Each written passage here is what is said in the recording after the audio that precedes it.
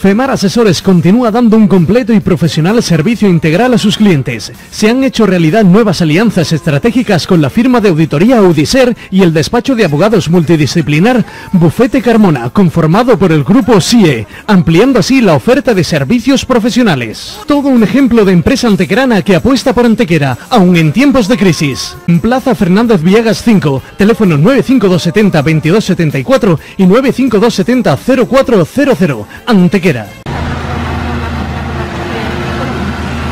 nosotros hemos estado tres años formándonos a que lo que la ley te pide, que son tres años de conversión que le llaman, eh, los cuales la oficina no es ecológica. A partir de 12 años, que es el primero que estamos, ya nuestra producción es ecológica, está certificada por una, una empresa adherida a la Junta y ya este año la llevamos a la cooperativa que tiene una línea ecológica y la Eh, la transformación es que tienes que dejar de utilizar productos químicos, tanto en abonos como en herbicidas y, y fertilizantes, y los productos que tienes que utilizar son biológicos. Eh, hablan de que las producciones se vienen abajo, que viene esa menos aceituna. Mm, Nosotros este año la verdad que nos estamos sorprendiendo porque está teniendo más de lo que esperábamos. Y con el tiempo pues los olivos van creciendo y la producción puede ser exactamente la misma que una oliva que le están metiendo productos químicos. El aceite de- evidentemente es de mejor calidad y no, no se puede ni vamos ni comparar con el otro. Eh, hay que también entender, ¿no? Porque el problema que tenemos ahora mismo en el campo y en, el, en, el- en el- la ciudadanía es que no hay una cultura del olivar desarrollada y la gente pues no entiende, ¿no? Entonces, este tipo de aceites, que son unos aceites premium, que tienen unos precios más elevados, eh, van a una, una línea, una serie de gente que lo valora más. De hecho, el, el- la inquietud que hay que identificar es que en el mercado exterior hay mucha demanda de ecológico y no tenemos y por eso estamos haciendo. Esa ha sido la mayor apuesta, ¿no? Sí, eh, tema- aparte del tema mm, cambio climático y todas esas cosas del perofloteo como hablamos, ¿no? Pero eh, el tema es el número. Más, más precio y si llegamos a una producción más o menos igual, pues sale lo mismo. Decías que la campaña se presenta bien, ¿no? La campaña, nosotros vamos a recogerlo rápido porque tenemos tres máquinas recogiendo, pero que la, la campaña se presenta buena. Eh, de hecho, nosotros somos los primeros, digamos, que estamos cogiendo porque este tipo de aceituna le- se requiere que tenga, que pierda algo de rendimiento, tenga más calidad el aceite.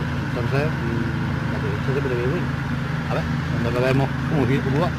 ¿Hay algunas previsiones? Eh, hablábamos en ecológico, estamos hablando los socios que íbamos a llevarla de unos 750.000 kilos en principio, pero yo creo que podremos llegar al millón porque la mayoría de la gente con la lluvia esta última y eso, eh, la producción se va a aumentar. ¿Mejor que el año pasado? Eh, bueno, el año pasado es que no tenemos cifras de ecológico, No pero vaya, de, de hecho lo que tuvimos de aforo el año pasado fueron 600.000 kilos. O sea que hablamos que este año... También es verdad que la aceituna, como hay mucha besería, que unos años tienen más, otros menos, pues ahí te puede despistar un poco. Al ser recolección temprana, mm, conseguimos que el año que viene también podamos tener producción, porque el, el- el olivo invierna, inverna, a la hora de, de, de invernar tiene ya la, una recogida y ya cuando mm, empieza la primavera ya no llegas pegándole palos, que era un fallo que había, aparte de la calidad de- del daño que se hacía a los olivos, que puede ser producir la besería, porque la, la parte final del olivo donde echaba la aceituna del año que viene, te la cargaba y entonces, claro, no la echaba. Muchas gracias. Muy bien. Vale, ¿Tu gracias. nombre? Nada, Luis Córdoba. Luis Córdoba.